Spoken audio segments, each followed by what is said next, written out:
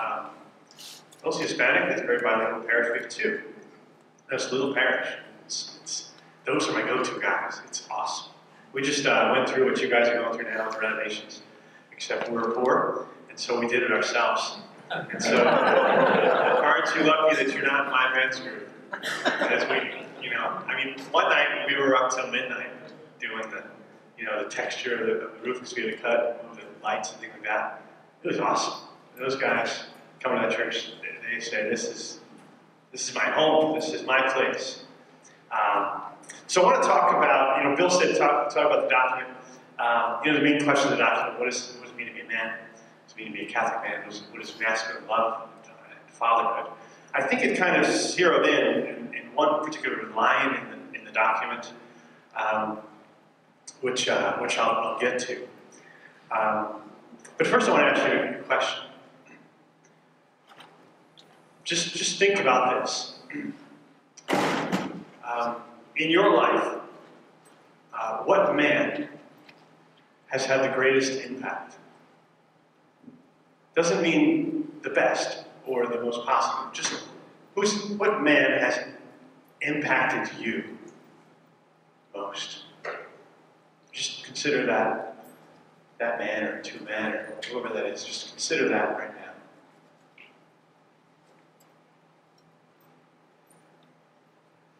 I think we could say in God's providence, His plan, um, He brings us together. We're, we're, we're social by nature. He brings us together and we impact each other. And He has plans that, that some impact others, right? and so that, um, that man in your life was, was most impacting. For, for many of us, it's our father. We can't really avoid that. Um, but what if that man that was most impacting was you know, what if, what if he was a saint? What if he, what if he was present perfectly, affirmed you perfectly, present, uh, loving perfectly, you know, truthful, honorable, integrity, all those masculine virtues? If he had that perfectly, you'd probably be a different man. What if he was completely dysfunctional and couldn't, because of sin and struggle and human weakness, couldn't give you much of anything. But still it impacted you. How, how different you would be. Now, I think it's fair to say that all of us are somewhere in between those two, right? Think about that. You say, what if, we could, we could say, well, what if that, that man in my life, maybe my dad, what if he was a saint? What if he was perfect? He was steadfast to the end. Um, some of our dads are close to that. We could say, what if my dad, um, what if he didn't live? What if, what, or what if he abandoned me? How impacted I would be. And my point is, is that the man makes a difference. Man makes a difference. You're a different man because of whoever that was. And um, you, whatever's good is probably coming from other other men. I did a, three summers ago, um, I did a 30-day silent retreat. Went out to a hermitage out in the woods and I had a spiritual director, and there was a few other priests on the retreat, but we didn't talk. Just 30 days with the Lord. St. Ignatius of Loyola to come up with this retreat a few hundred years ago. And um, in this retreat, in this silence, you turn off all the noise, nothing, nothing, just nothing. Me and the Lord. I had a little chapel in the little hermitage where I was. Spent a lot of time in adoration, just time with God. And I noticed in the first few days a flood of relationships and memories and thoughts and experiences. They all came in. And it just kind of like sat. That's my humanity. That's, that's who I am. And then I noticed toward the end of the retreat, the great realization was, oh, if it wasn't for my dad, and my mom as well, I wouldn't be who I am. And most especially my dad. Like, I just, I just learned throughout my 30s that I'm just my, my dad's son. And that I am who I am because, because of him. And I share that uh, because I think that's the sense of a lot of us. We always say, well, I'm becoming my dad, right? Uh, and again, our dads are a mixed bag. Tomorrow's gospel is the weeds and the wheat. It's all of us, right? They're all mixed together. You can't like uproot the weeds. And we can't imagine that they're not there. But it's, it's the reality. Our dads are, are mixed bag. And we are kind of a product of them. My own dad has one memory of his father. One memory. He remembers his dad sitting at the table. He's told us many times, sitting at the table, eating breakfast. And he was a three-year-old boy. And his dad soon after died of pneumonia, left behind his wife and five kids. And the wife had to raise the kids, and she worked very hard. But my dad, who I believe to be a great, was a great dad, I kind of say, well, who was that man that impacted him? After my dad passed away, I went through his letters. In fact, I just did this in January. And I came across articles about a Christian brother. They were teaching order of, of men uh, in New York City. And an article about this one particular brother. And then with that was photocopies of it and photocopies of the letters my dad wrote to him. Because this man stepped into the breach and took on a fatherly role and said, Hey, I see this guy, he doesn't have his dad. And with discipline, of provided something. It's in us. Uh, masculinity and fatherhood, as, as men, we're so bound up, tied up into the other men that, that, that affect us. And as a vocation director, which means I prepare the men to become priests, there's a reason why it happens among men. Here, go to this school with 150 guys and work out your masculinity. And with some older men and priests to give examples and, guidance and to walk with them. Greatness happens among men. It's, it's part of us, part of who we are. Um, and Bishop Olmsted Into the Breach really kind of nailed it. He, he hit that on the head. I want to just start. Uh, I haven't started yet. Just start now. In case you haven't noticed. Uh, I, I want to start. Uh, I want to start with just a little bit of philosophy because I think we're, we're in a world where, where a certain philosophy is affecting us. And if we listen for it and we make the choice between these two philosophies, our lives will be very different. There is, on one hand, uh, Jean Jacques Rousseau, enlightenment or enlightenment, if we're honest. And he said that uh, the man is not very, is not rational. He's isolated. He's essentially complete in himself. He determines what's true and what's not true. Gentlemen, that is dangerous. But that is very prevalent. That philosophy is prevalent in our, in our world. Following him is David Hume, who says that reason should be the slave of the passions, which is to say, make truth conform to my, my own, whatever my thoughts are. So this philosophy says, truth is not out there. I don't discover it. I don't observe it in nature. It's in me. I'll determine what's true or not. The extreme case is somebody who says, I'm a giraffe. I'm saying, no, you're not. Oh, yes, I am. I determine that. That's the philosophy. Take the philosophy to its head. That's what you have. And in our day, we have it where we determine I'm a man or I'm a woman. With no regard for looking at nature and saying, actually, you're different. Right? Now, in this path fits very nicely Adolf Hitler. I'll determine who is worthy of life. Right? In this philosophy fits two major errors in our country's history. I'll determine whether the pigment of someone's skin determines whether they're a human being or not, or worthy of freedom or not. Or I will determine whether 10 minutes before someone's born they're a child or not. Very dangerous. Very, very, very dangerous. And it's all up to the will. And the strongest, the loudest voices get the, get the, get the power. If you look at who's moving in the, in the culture, look who's trying to gain power and louder voice.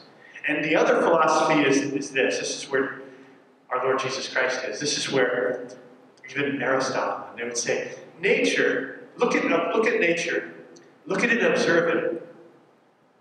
Truth is outside of you. Conform yourself to the truth. Observe what it means to be a human being. And then follow that, and that's called virtue. And that'll lead you to happiness. One side is control. Once Adolf Hitler lost control, what did he do? Killed himself. Right? It all depends on control. Your own will. And here, now we just follow. It's, it's truth. It's outside of me. I don't determine it. Very, very important. We have a, we believe, this side, we have a nature. We have reason. We can observe. We're rational, right? We're part of us. We're part. We're interconnected. We're part of our nature as family, and part of our nature is fatherhood and masculinity and femininity. That's not up to us. It's part of nature. We just observe it. Now, Bishop Olmsted, in writing this document, goes right here and proclaims masculinity. A lot of people are nervous about doing that. Ooh, you know. He released a document. It's great. He released a document at 3 o'clock. At 3.05, there were complaints. it's great. It was great. We're human beings. And the, the, the, the larger social unit is built upon masculinity and, masculinity and femininity and family. And if you look at people, where are their deepest wounds? And a lot of times, father and mother. And a lot of times, father. Right? St. Thomas Aquinas says natural law. There's a, there's a law to nature. And Rousseau says there's no law to nature. I determine the law. I'm in charge of everything. It's, it's ridiculous. But Thomas says natural law is just it's just the rational creature's participation in the divine law. That God put all this together. And we rationally look at that, we follow it, and that's what makes us happy. That's why the saints are joyful. And uh, those who follow this path can be a very miserable life. We have to control it ourselves.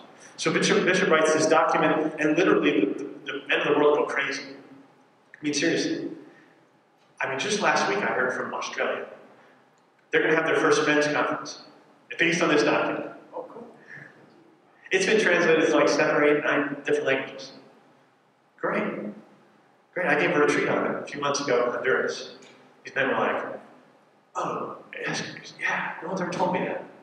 We were, the Pope John Paul II wrote two major documents to women. And the story is, is that these women got together, and they prayed, and they said, what would be the next step on, the, on that pathway? And these women got together and they said, How about write something for the men? You want to give us something? Give us some holy, strong men. Give us what Bishop Olmsted's document calls us, calls us to, to be providers, protectors, and spiritual leaders. And that's what I want to, that's what I want to talk about. Those three things. Because if, if we go by our nature and we say, what does it mean to be a man? What is masculine virtue? We're going to be happy. We're going to have integrity. To be who we're made to be, right? That's basically all bishops ask us to do. It's not rocket science. Um, but, but we have to say, instead of this philosophy here, we say, no, sexuality matters. Masculinity matters. It's not just plumbing. It's not just our own makeup uh, idea. No, we're spiritually male. We're physically male, we're also spiritually male. And we're called to own that. Just last, uh, just last Saturday, I got home from a trip. I've been planning this trip for like 10 years. I've been a priest 10 years. And me and my classmates celebrate our, our anniversary, so guys, we're going to do something. And we've been talking about going to this little village in France called Ars for, for years and years and years. That's the village where St. John Vianney served, right? And so we went there. Um, it's this little place. We spent uh, three days there, prayer and just soaking up uh, a lot of the graces of, of, the last 10 years of our, our priesthoods um, and praying for a lot more. But one thing that was interesting when I went to this little town, John Vianney, the patron saint of all priests, he's, he's a, spiritual father par excellence, gave his life. And at the end of his life, Satan told him, because he would have this experience, Satan told him he stole, he stole 300,000 souls from him. There was only like 800 people in the village. That's the power. That's the power of a man being a father. And as we prayed there, and I went, went through there, um, I noticed one thing. He had two confessions. He had one for men and one for women. Now, I'm not telling Father Robert and his renovations to do this. They'll hang him, probably. But John Vianney, it would say, well, why would he do that? He, he just made distinctions. He said, men are men and women are women. And I, and I you know, in this confessional, I, I speak to the men in one way, and I speak to the women in one way. And I came across this author, and he said, why? Why John Vianney did that? This is what he said. He said he heard men's and women's confessions separately because the animated universe is sexual. It's not unisexual or bisexual, which are forms of hostility toward the charisms of masculinity and femininity. Difference is a, is a necessary condition for femininity and masculinity. Difference is essential, necessary condition for equality. We talk about equality. A lot of times when we talk about equality, we're trying to get rid of difference. That person that called up at 305 was upset that we wrote a document just for men. Why? Men are different. That's okay. John Paul wrote a document for women. None of the men complained. Right? It's, it's essential. Sexual dignity is not sexist for the same reason that natural law is not sexist. It's, our, it's our nature. A woman being a woman and a man being a man, they don't play roles unless it's part of the drama of our creation. God has put into us masculinity. It's part of the dra- drama of His creation. Creation doesn't happen. The, the, the, the uh, continuation of creation, children, it doesn't happen unless men are men and women are women. Now. And so the creation of man and woman was God's greatest outpouring of perfection. We cannot pretend, we cannot pretend that it was his one mistake. So we shouldn't say, ah, man, God made me that way. Pope Francis says, accept it. Accept what God gave. Perfect it. Ask God to give you virtue in it. That's all Bishop's asking us to do. And so to think that our sexuality is mere costuming, as if it hides some authentic asexual nature, is tragically wrong. The women of Ars, France, became heroic in their womanhood, and the men were restored to faith, who had lost it men for many years. They became men, because the spiritual father led them. And so I'm not thinking, I'm not going to have two confessionals, but I see the reason why he did. It makes great sense. He would have the men line up you uh, know, together, and he would speak to them as men. And as a confessor, I can say, it's different. I speak to a feminine soul different than a masculine soul. They're different. It's just the case. If you just look at creation, guys, you know your scripture, Genesis 2 and 3. That's the story of creation of man, creation of woman, right? What happens to Adam when he's created? What, is, what does God do? Hey, Adam, get off your butt and get to work. Name the animals, cultivate the field, you know, get, get to work. What happens to Eve when she opens her eyes? What does Eve see? She sees a person. She sees a person. Adam sees work. And then what about the curses when sin enters the world? What's Adam's struggle? His struggle is around work, the sweat of your brow, the toil, the toil of the earth, right? That's his curse. What's Eve's curse? Relationship. Giving birth is going to be painful the relationship between you and your husband. You're going to long for him, right? So it all got messed up in sin, right? So if our creation at the beginning, the, the, the, roles were different from the beginning, and even the curses are different, we have to kind of go out there and say, yeah, you're right, Lord, man, you've made men different than you made women. So into that, Bishop says, now I'm going to start my talk. Bishop says this. There are those in our culture today, however, who do not want to see fatherlessness as unnatural or lamentable. Do not be fooled by those voices, wishing to erase the distinctions between mothers and fathers, ignoring the complementarity that is inherent in creation itself. So, the one line I want to focus on in this talk is this Men, your presence and mission in the family is irreplaceable. It's irreplaceable. My dad, who lost his dad at three, at three years old, couldn't replace his father. Sometimes I'll ask a young child in our society, we kind of like to talk that. It takes a village kind of talk. And I'll say, tell me about your mom and dad. And in my neighborhood where I'm serving, there's a lot of fatherlessness. And a child will say, my mom is my mom and dad. No, you still need a dad. For the moment, I'm, I'm here, I'm a spiritual father for you. But you still need a dad. Right? It's irreplaceable, Bishop says. That is a basic truth It's very, very, very important. And if you look at if you look at our prisons, who are they full of? Fatherless men, fatherless women. It's rampant. And our population is growing. So Bishop goes right into that. And he says, Men, your presence and mission in the family is irreplaceable. Step up, he says, and lovingly, patiently take up your God given role. God given, that is to say, it's in your nature, it's what you're made to be. You can't avoid it, no matter what you think, no matter what Rousseau, Rousseau tells you. Your God given role as protector, provider, and spiritual leader in the home. Now, I worked with Bishop on this document, and it was, a, it was one of the greatest projects I've ever worked on. It's his document, but he would have, have us read it, and I remember we shared it with one, with one honest woman, and she said, that terms. She said, This is what we want. She said, My girlfriends always keep saying, like, I hate wearing the pants in the family. This is what we want. We want men to be men.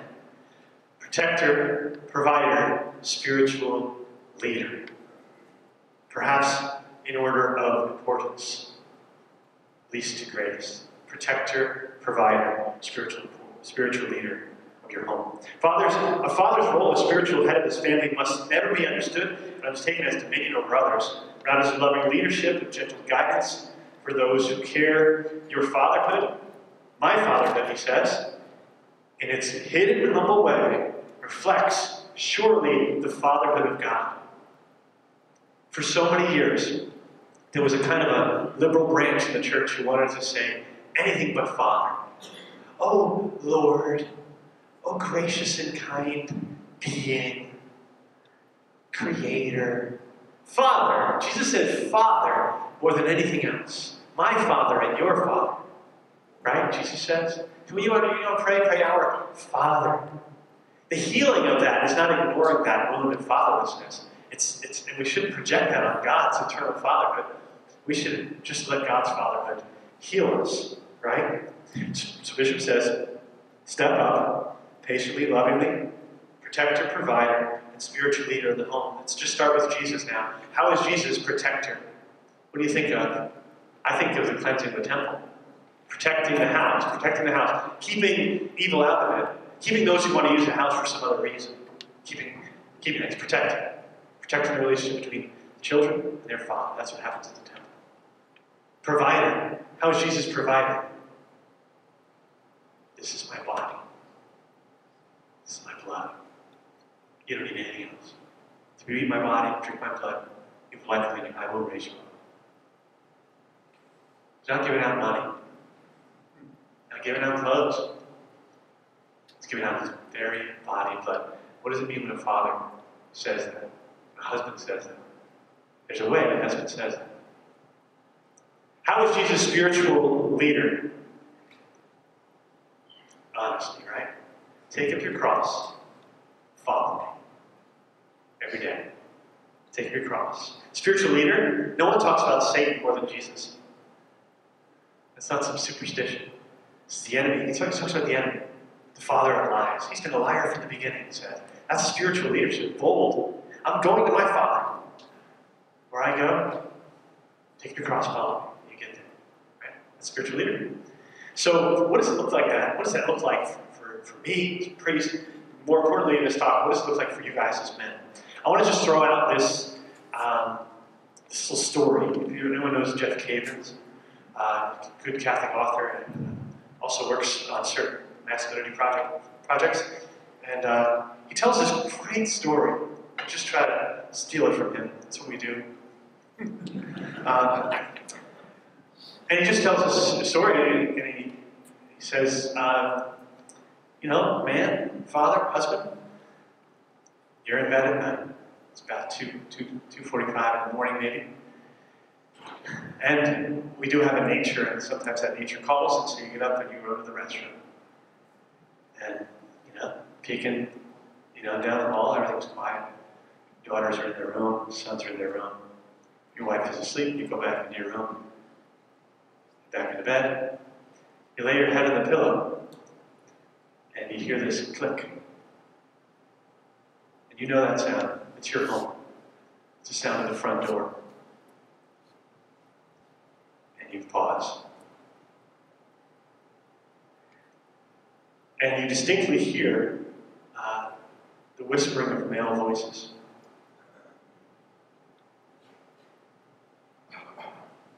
What do you do? Do you go to sleep? Do you wake your wife up and ask her to take care of it?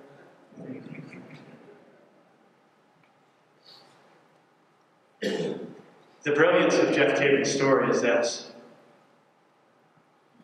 Satan is entering the home. TV, internet, different lives, division in the family. Satan's in, and men are sleeping. Or men are saying, religion stuff, that's up to my wife. Folks, what's more important? The, physical lives, physical well being of your kids? Because every man boldly says, I'm going to get my ass out of bed, I'm going to grab my Louisville slugger, I'm going after those guys. I'm to get my God, whatever I got. But I'm not going. I'm not to. I'm not going to sleep while my family's in danger. But gentlemen, what are you doing to protect your family from sin? Jesus says very boldly last week in the gospel, the week before, maybe last week. Don't be afraid of those who can kill your body. So in that room, go to bed if they can only kill the body of you and your kids and your wife. Be afraid of the one that contains soul and send it to hell, the fires of Gehenna. Why would we be so bold to grab a little slugger to protect physical and be so sluggish and sleep? Men in our culture are sleeping when it comes to the spiritual, to the spiritual. Satan is entering the home, the filth, absolute filth, through TV and internet, through stuff being taught in our schools hopefully not our Catholic schools. But where is the man saying, I'm making sure that we're living by nature and by virtue? That my daughter's no virtue, that my son's no virtue. Me and my wife are living this virtue. We're not letting anything enter in. Maybe that's just family division entering in, right? The man must be must be the, the protector. So it's the first role, protector, right? In my trip to uh, Ars, France, we stopped over to Normandy. We went to Omaha Beach. And it's, it is powerful. The, just, you know, so many years later, almost 40, almost 80 years later, it's powerful to stand on that beach and imagine what those men did. The intruder had entered, right? Nazism. Hitler had entered and taken France. He had, there had been an intruder. And these men go to this beach you have the beach, you go up a little berm, two football fields, and a cliff. And they said one German wrote a book years and years later, he killed like hundreds of our men. It was such danger, but they were not gonna, they, they took the they took the beach. They took the hill. They went, right? The man must be protector. He said, there has been an intruder. In so many of our places, in our homes even, there's been an intrusion of lies about masculinity, about femininity, about our destiny. How about the lie that what really matters is money and our jobs, as opposed to our souls, right? And so there's a there's a there's man must think with our rationality say, well, what are we made to defend, right? If Satan can destroy, this is happening so often, I say it as a confessor and a priest, if he can destroy any young man or any young woman at 12, 11, 12, 13 years old, their understanding of themselves as sexual beings, you can take out their whole family before it could ever happen. That's there's such a crumbling in the family, and I think it's it's because we let the enemy in. So, gentlemen, think about this. What are you protecting? What do you protect in your family or in your life? What do you protect? Is it merely the physical? Or will you stand before God and say, God, through my prayer, through my sacrifice, through my example, through my instruction, through my discipline, I protected their souls. The end of my dad's life, he kept repeating two phrases Lord, help us to know we're always in your presence. Protect us from the lie that we're not, that, you, that you're not here. Then he would say, especially mindful of a few who are away from the church and the family, he would just keep praying, bring back the, the strays, bring back the strays. Right? Because in the end, all that matters is the spiritual, the men of our lives. It's all that matters. Your kids are homeless or if they're CEOs, big deal. If they're with God or without God is what matters. Protection that a man offers. Okay, second one, provider. How does a man provide? Well, like Adam, he works his tail off. He works, right? And, and uh, that's important. It's not everything. It's important. And so when you're coming home late and it's tired, and you, you know you're working hard, good. But be with the Lord. Some men can we can tend to escape in that providing and escape from relationality, right? So Adam works hard, but he has to work to be with Eve. Because he's a man. Men aren't as good as that as women. Right? Right? So there's this virtue that man must, must find, and Christ shows it. He's, he's our example, right? So, how does a man provide for his wife? It's very common. I spoke to a young person the other day who I had, who I had in younger years and now wants to get married. It's very common that you'll have a relationship will start, and one might have the faith, and the other would say, I'm not really into that. And say, for example, the man says, I'm not really into that, and she says, Well, I have the faith. And what we often hear is, Well, um, I, I, live, I live my faith. And he says, Well, I respect that. And what I often hear is she says, Okay, as long as you respect that. That's, that's the worst answer. Because what, what really pans out over the time in that marriage is what's really central in me, he wants nothing to do with. I was on the phone with a couple, they've been married for years, like 20 years, great kids. They were, he's a great guy, she's a great gal. And we're trying to work with them, and it comes down to this at the very end. Uh, he never went, he never provided the spiritual, and she always longed for it. That's common, brothers. That's common. It's harder for us. Women get it. It was a lot more women than us this morning. We, it's, it's harder for us, right? But we that's also because sometimes we feminized what we think the faith really is. We haven't shown the authentic masculine of the faith. But the man, there's, there's something in a man spiritually that a woman's going to long for. And they're not going to be happy until they have it together. And there's a suffering to get there, and it's work. But man, when you have a couple that's united, when he's provided spiritually, as Christ provides for the church, he speaks about his Father and he gives, he lays down his life. It's all, it's all his the spirituality of masculinity. It's all there, and when he offers that, then there's happiness. Then there's happiness. Ultimately, that's all that I can say about providing for his wife. Money and bills, I'm sure you can figure that out. The more important thing is that, man, that, that Christ is never uh, shallow to his bride, the church. Man must be the spiritual leader of his, his wife and kids. How does a man provide for his daughter? Well, he provides love. There's kind of a, you know, some people have a hard time with that, but men traditionally walk their, their daughters down the aisle in marriage. I had a wedding a couple months ago. It's the coolest thing. You might, I don't know if you think it's cool or what, but um, this young woman uh, they got married young, in their, their 20s. But she had a curfew until she got. And we're talking with them, and, and you know, it's just like, usually it's a couple that's like, they're trying to piece together their lives from all these other relationships and then try to make it work and wanting a lot of healing and stuff. I remember being like, wait a minute, you're you're going from your dad's house, your dad has said I love you, and it wasn't like an oppressive curfew, it was like, no, we just we love each other, we want to we want to know where we're at at night we want to sleep under the same house. And so when his dad walked her down the aisle, he said, I've, I've loved her. Protected her. I've led her spiritually. And then this young man, who is from a good family himself, and they get married, it's different.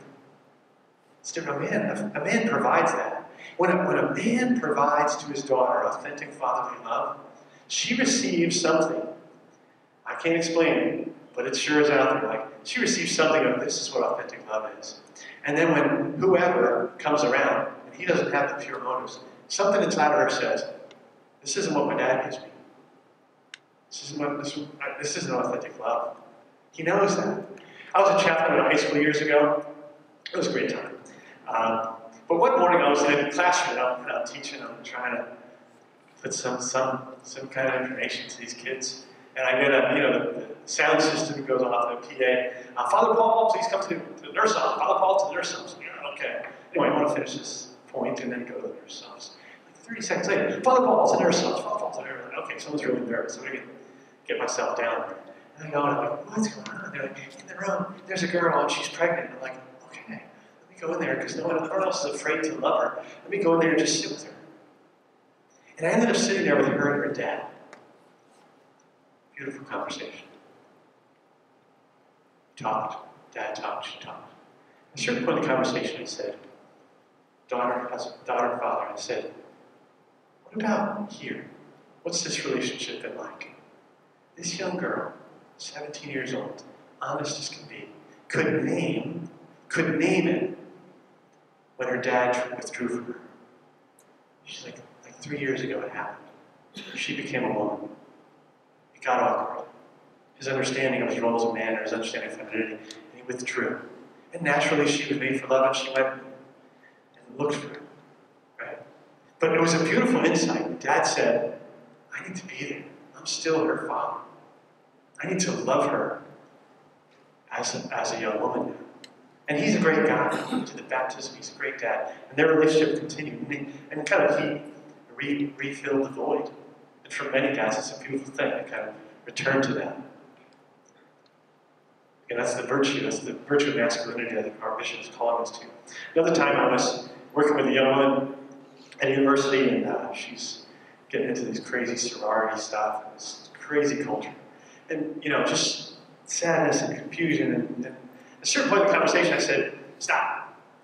Tell me about your dad. Where'd that come from? And she said, Oh, I've been trying to get that man to love me my whole life. In our nature, in our nature as men, we are made to be providers. And when we don't provide that, there will be suffering. She couldn't say with Rousseau, oh, uh, he's, he's not my dad. I, I decided he's not my dad. In my mind, he's not my dad. So I don't need that anymore. No, no, no. I'm made for that. It's part of my nature. For sons, they want to know what it means to be a man. And every only a, only a man can do that. I have to tell moms at the talks. Ladies, you can't give your sons masculinity. You can't comfort your son, coddle your son to man to manhood. He's just going to grow up confused. He needs men. He just does. And, and we find it. We find masculine confusion usually follows masculine absence previously. Right? I had a funeral a few months ago. It was, it was tragic. It was very sad. A 21 year old young dad um, was killed in a car accident.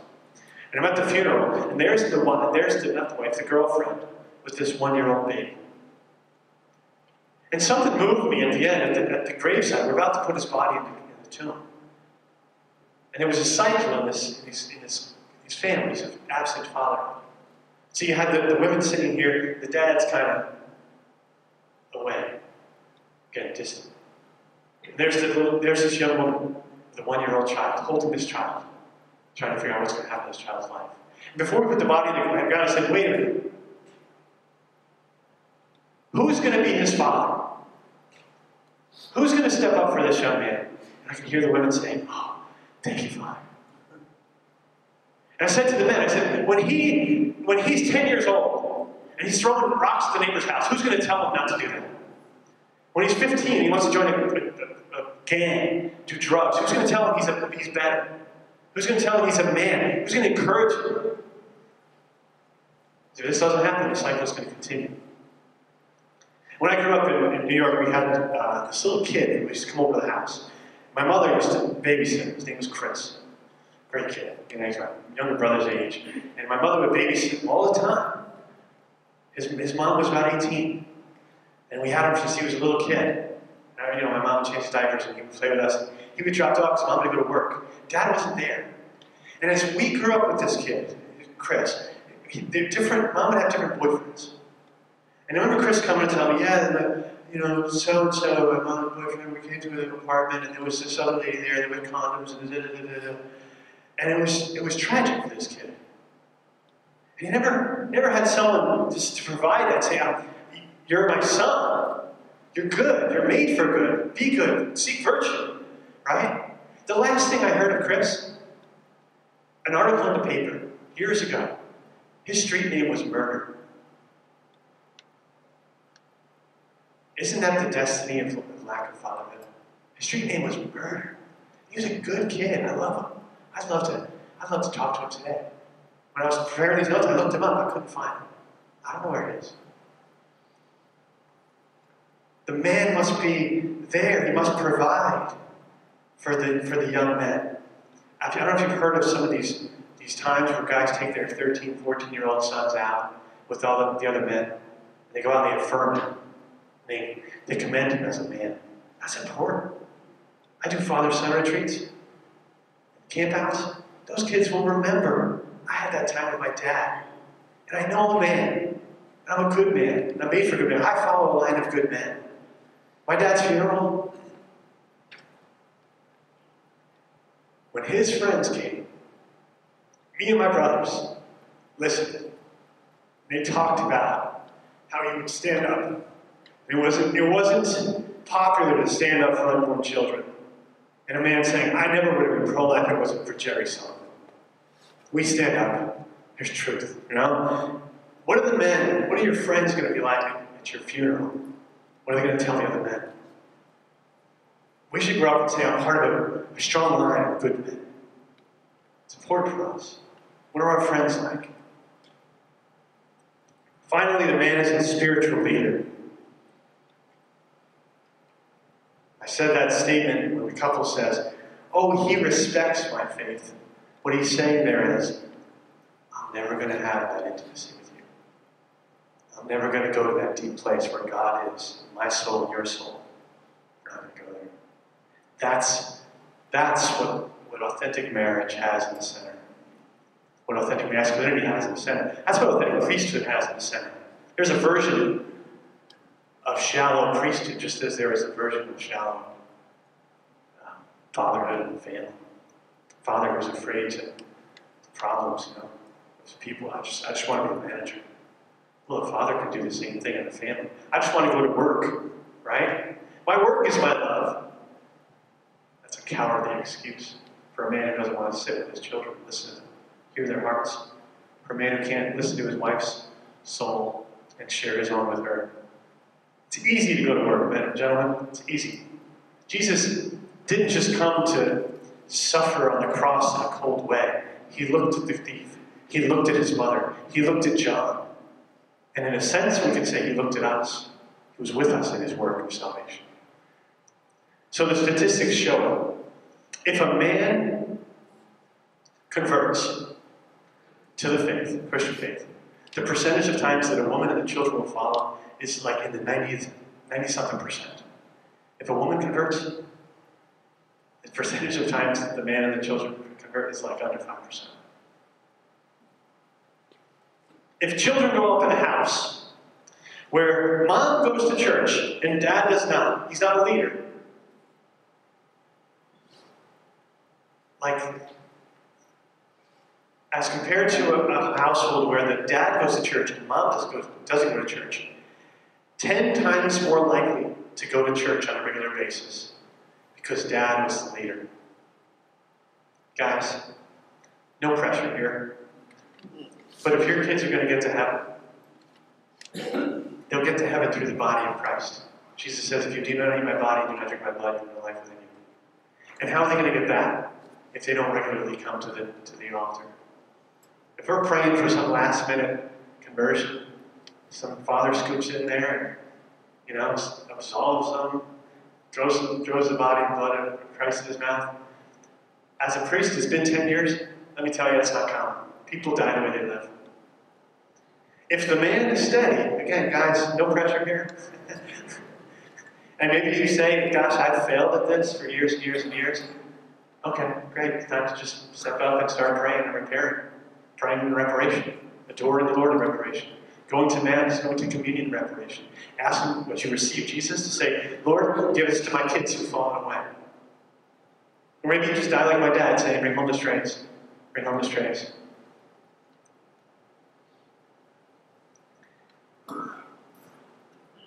This Into the Breach movement document and, and, and what continues to happen wants to break into, break into the lack of protecting, providing, and leading. And, and stir up. Gentlemen, I started by saying, who is the man? Who is the man in your life that most affects you? And I want to end by saying, who are the men in your life that you most affect? Who are they? Think about that for just a moment.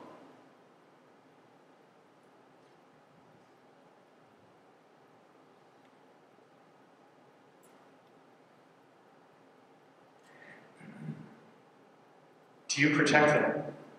Your actions and words. Do you provide for them? Are you a spiritual leader for them? Do they know your soul?